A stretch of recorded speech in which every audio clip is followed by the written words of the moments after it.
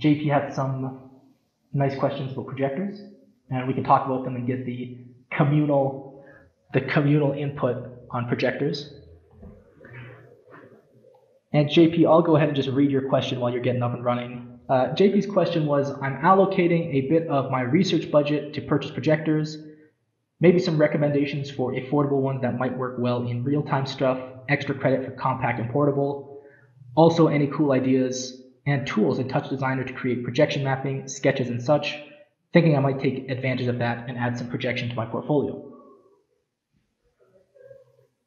JP, I think you're muted still. Yeah, well, I was just letting you finish, so no, no worries at all. You're so kind. You're so nobody normally lets me finish. cool, cool. no, but hey, thanks for uh, thanks for checking it out.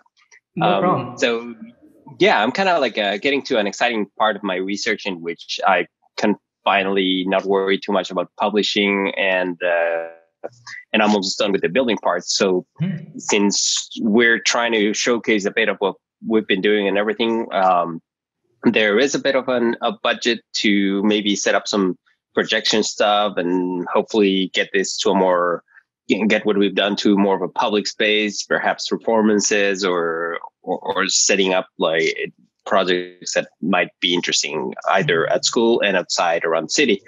So we're trying to look into possibilities for like uh, good of an you, you know, kind of like a good for a general purpose, good for all situations type of projector that we might be able to use, um, while trying to keep it easy to carry and all because um, the, like just the robots that we've been building and all are hard enough to like carry around. So, are you going to mount the projectors on the robots? Around it, or we're yeah. still still thinking about it. I have to see what I have to work with, and then I'll probably figure it out. That sounds cool. I even lost my train of thought because that's so cool. Um, nice. But I, that's why I have notes. The notes bring me exactly. back to reality. um, so there's kind of like a bunch of stuff I can say, and I know we have a couple of projection folks in the chat as well, so they're feel free to chime in. Uh, there's kind of three brands I go to for the that mid-range affordable projector line. Uh, BenQ, Optoma, and then ViewSonic. Um, now, those ones I find you'll have a lot of options in that range, which are pretty good. The ViewSonics I think are probably the cheapest if I remember correctly. Uh, you can get a lot of bang for buck out of ViewSonic, although sometimes depending on the models, uh, which I don't know too detailed of, but uh, I've heard the contrast ratios and the colors aren't as like crisp and beautiful as you know the Optomas and the BenQs. Which I mean, when you think about getting a you know a 3K lumen projector for 400 bucks, you're like, eh, you know, like can't have it all. Um, right. So I think those are kind of the three brands I would even just start the the search at. Now, especially since you are far away from us, North Americans, you might even want to open up that search. But I'd say those are the three good brands to start with because you might actually have NECs so the problem is NEC does make some affordable equipment, but they never make it over to North America for a decent price. So if you see on your side of the waters like some NEC dealers are have some good prices, NECs are also pretty nice, but I find they're usually more expensive, at least in North America. In terms of specs, and actually Phil was mentioning this in the comments of the question, I'm all about 4.3. All about 4.3. And the reason I'm all about 4.3 is because um, usually you'll get a more affordable projector with better specs. Like you know, everything about the projector is going to be better, except it won't be 1920. It won't be HD. And there's a lot of hype around like the HD and the 4K, uh, just because the market is so big for people that want to get like home theater projectors. Because that's kind of where when we're doing this affordable projector business, we're looking at consumer stuff, right? And the consumer stuff is always going to be trying to make it easy for people to watch movies at home. So that's why you're going to see right. so many HD projectors, and their prices are going to be higher than the 4.3 projectors. You know, whether they're um, as low as you know 1024 768 or you know anything in between that and even because i think 1920 1200 is the popular hd 4.3 resolution but right. I don't think you need that much resolution. And I'll come back to resolution later. But you know, the big thing to think about with four three really comes from the physics of it. When you think about the projector, I mean, essentially you got like a light bulb or an LED, and that's emitting in all directions light. Now, when you think about, you know, you have this thing emitting light in all directions, and even Phil was mentioning this, like, how do you get from this to HD? You basically just block the top and bottom. and you have HD. There's no like magical way to turn you know, light emitting in all directions into HD except just blocking the top and bottom. So, you know, in most cases, you can think about four three as just being less shutters around, you know, your omnidirectional light source. Now, I also think, you know, similarly, the resolution thing is an interesting one. Um, I by no means think most people need HD projector. Like, you know, 1920 by 1080 is nice, but I think especially for things where you can control the scenarios a little bit better. You know, you have more flexibility on moving your projector around. Maybe you're in charge of where it gets mounted. Uh, you have controlled lighting and things like this. You know, I think most people yeah. can get away with 1280, 720 just fine. Uh, you know, even if you wanted to drop down to something like 1024, 768, you know, the big issue with resolution is has to do with distance. Because you got to remember, like, right. the farther your projector gets from the wall and the bigger your image gets, the bigger your pixels get on the wall. So, you know, if you get an ultra, you know, all, even actually, I shouldn't say how far away you get from the wall because it's actually how big your image is. So if you get an ultra short throw and you put it close to the wall, it makes a giant image, but the resolution is small. Right. Your pixels are, are going to be gigantic. But knowing that that's your limitation. So let's say you get a 1024 768 projector, for example you know, as long as you're flexible and you know what you're projecting on and you have some control between, oh, okay, well, you know, you think to yourself, oh, well, we, we can see the pixel are too big, so let's move these items a little bit closer together. Uh, I think you can get around a lot of the resolution issues because that's really the big one that I find is just, you know, you start to see a little bit of those lines and the grid effect that you see like all the pixels on.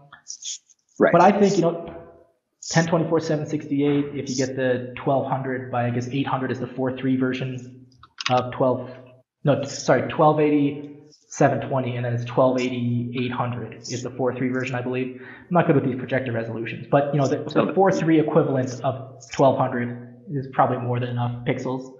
Yeah, 1280. Uh, t- yeah, I, I well as long as it's for. Yeah. Yeah. Uh, for sure. Now, but, interesting. Sorry, what's up? What's up? Tell me. Yeah, I was just gonna add like that. That totally makes sense, and and and I don't know if HD would be totally worth it because the price probably goes up a lot. And if we really, you know, like if we were in a situation that we really need something as specialized as that, we would be, we'd probably be dealing with a venue that either has their own thing or would be in a position that it's kind of like, if you really need this, then you should probably chip in or something like that. So well, that, renting, that would be know, more of a renting is super affordable to get like a nice projector for a day or two. You know, at that point, then you're getting like a Barco. Right you know, life's good. Um, but I think that's that's a good thought, and especially like when you think about, you know, it's it's almost like optimization in a sense where it's it's trade offs.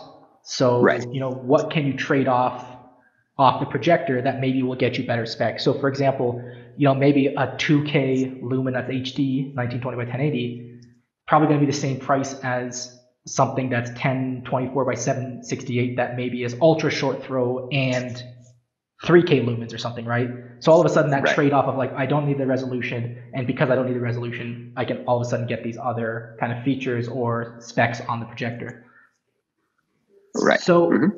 another thing to be careful of, um, which I think traps a lot of folks when they're going out for their projector purchases, especially in the consumer market, is baloney specs.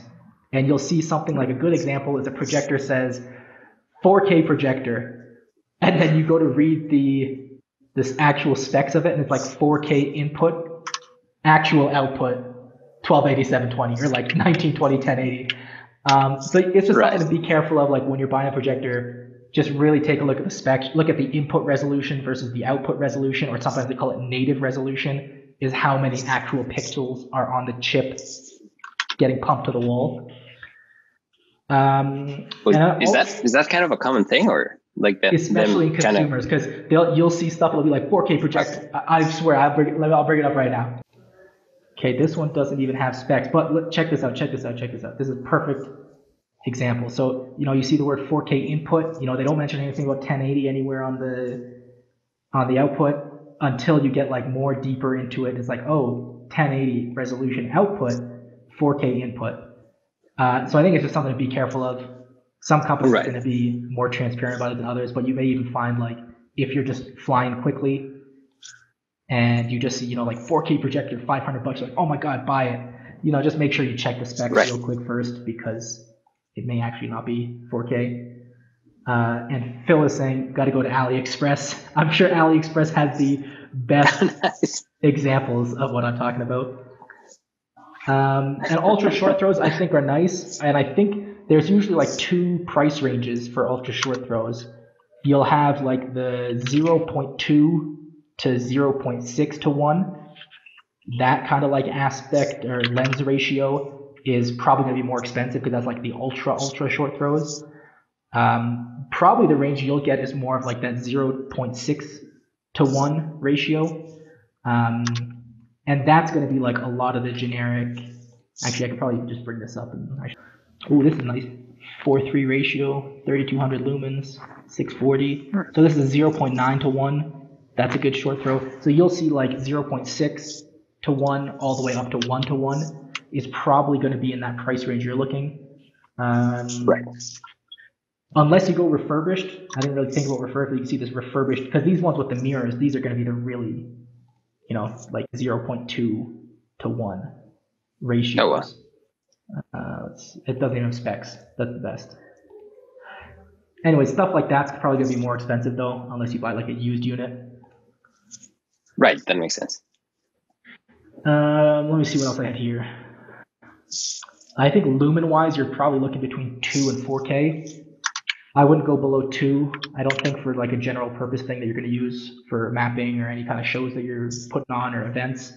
And you probably right. won't find anything more than 4K because I think after 4K it like breaks into the different tier of like, oh, now you want a conference room projector, uh, and then all of a sudden your prices jump up again. So I think 3K is probably going to be the sweet spot that I would recommend looking in around.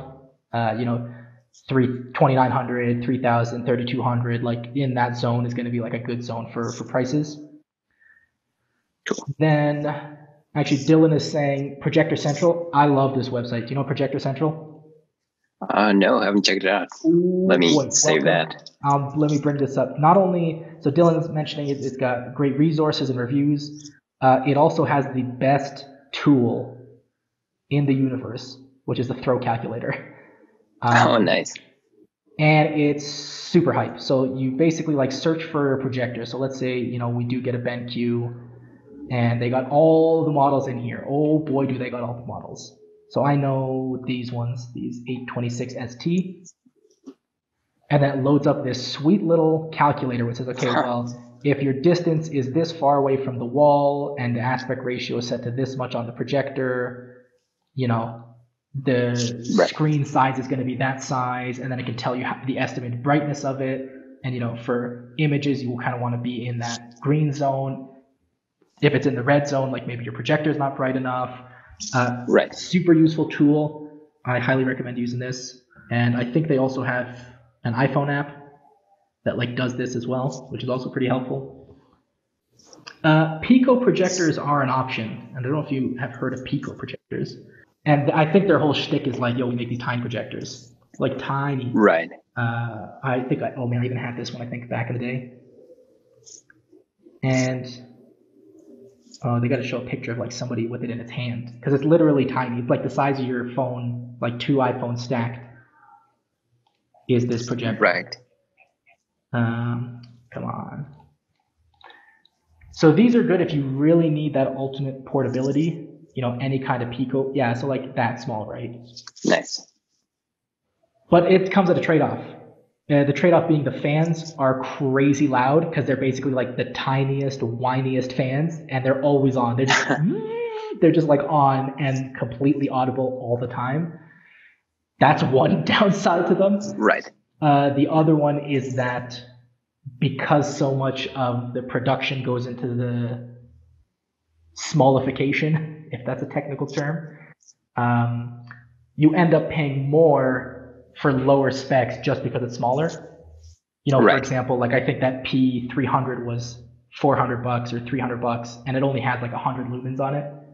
Um, and I think they've come a little bit, they've come a long way since then. I think you can get like a pretty decent one, you know, probably in the 500 to 1000 lumens, but it's still going to be the same price as what you might get in kind of that more traditional, like boxy consumer format. That's probably going right. to be like 3K lumens with, you know, better throw, better colors, better contrast, and things like this.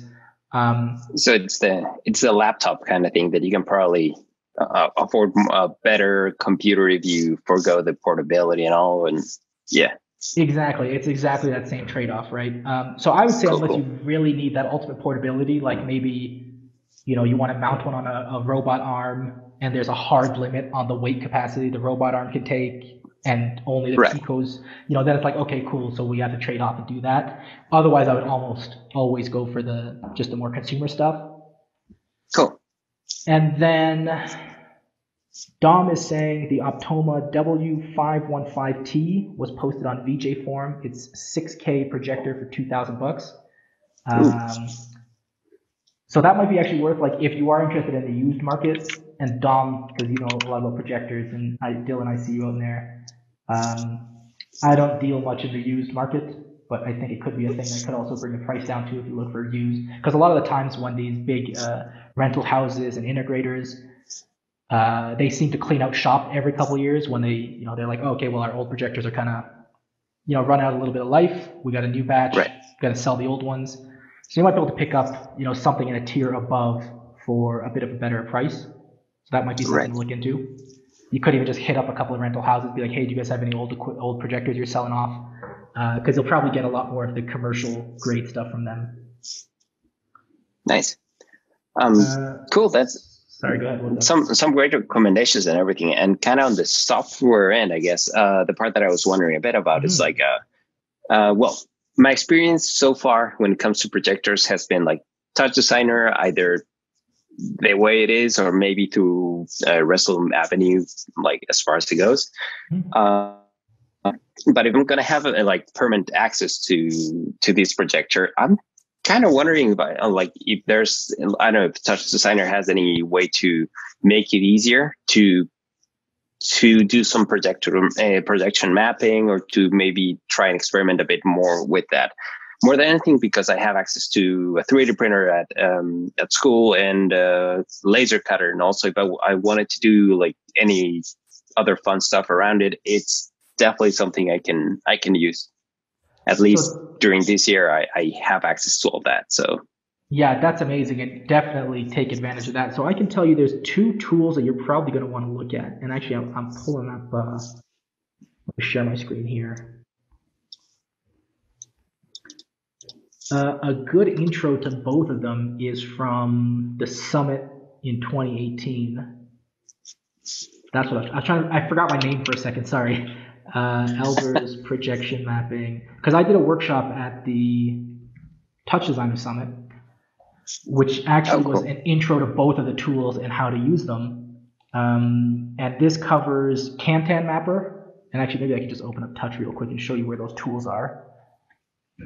Uh, Kantan Mapper is kind of more like a traditional 2D projection mapping. So if you think about things like MadMapper or Resolume, you know, that idea of you projecting out and then you're kind of drawing masks around the stuff that you want to project on, and then you kind of assign textures to them. Uh, that kind of workflow is inside of Kantan. And you'll find actually both of these inside the palette if you go into the tool section. You'll see Kantan Mapper is here, K-A-N-T-A-N mapper. Now, the other projection mapping method is more of like this new school, like 3D projection mapping. And that might be what you will really have fun with because the idea is based on the concept of having a 3D model in your computer that matches something in real life and then calibrating your camera inside of Touch Designer to match the projector in real life, which then right. has a couple of really cool benefits. One is that it lets you automatically, well, I shouldn't say automatically, nothing's automatic anymore, but it really simplifies mapping a 3D object with like a 3D native workflow. And what I mean by that is then you're not worried about like drawing a square on the sides of a building because essentially in the software you have a building it already has a UV map of the texture coming from like your 3D software, or you know you generate some content in Touch, you map it onto the building in touch, and then the workflow of CamSchnappr basically reprojects that from the projector back onto the real life object without you having to, you know, draw a square here and a triangle here and a circle here and like individually put pieces on it. Uh, and that right. workflow is really cool. So that's CamSchnappr. That's also in the palette. And that video that I was mentioning uh, is a good one because I, I go over not only like how to actually use these tools, but I actually talk about the workflows that are involved in both of them. So like if you're coming from Camtasia, you're going to be doing 2D stuff and you might do stuff like this. And if you're coming from CamSchnappr, you're going to be working in 3D. So your workflow is going to be kind of like this, and maybe you're working with these kind of people. Uh, and the nice thing, actually, I think I, I even did a UV unwrap. This is the height, this is the pinnacle of my Cinema 4D career. Was a couple of boxes getting look at look how look at this that is janky. nice. and it's it's on YouTube forever, people. I'll never look it down. Um, but I talked about the whole workflow in there. The only annoying thing is that you can't. The projector output wasn't recorded, but I'm pretty good about whenever I'm doing something on the projector. I'm always like saying what I'm doing. So even cool. at the part, there's only a few small parts where it's like I'm like looking at the projector and talking about it. But as long as you kind of follow along what I'm saying with what you're working on, uh, then I think it's it's totally easy to follow. So yeah, I did the whole UV unwrap phase.